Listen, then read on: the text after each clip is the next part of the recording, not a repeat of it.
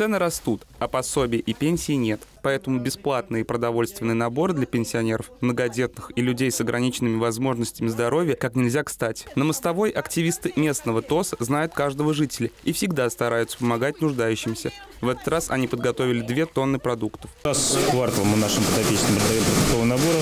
А, Понимаем, что время тяжелое, а, все-таки пандемия еще не отступила. Вот, и поэтому сегодня в очередной раз привезли больше двух тонн продуктов. Наши подопечные нашего э, пункта здоровья как раз все получат продуктовые наборы. Как раз к празднику, я думаю, что это самая такой, такая помощь для наших жителей. Она сейчас в настоящее время необходима. В продуктовый набор входят крупы, макароны, несколько банок с консервами, масло, чай и сахар. На данный момент в ТОСе помогают 325 местным жителям микрорайона. За несколько лет волонтеры раздали более 10 тонн продуктов. Люди очень довольны, а тем более сейчас вот такое тяжелое время, когда подорожание продуктов, все это очень даже прям во- вовремя.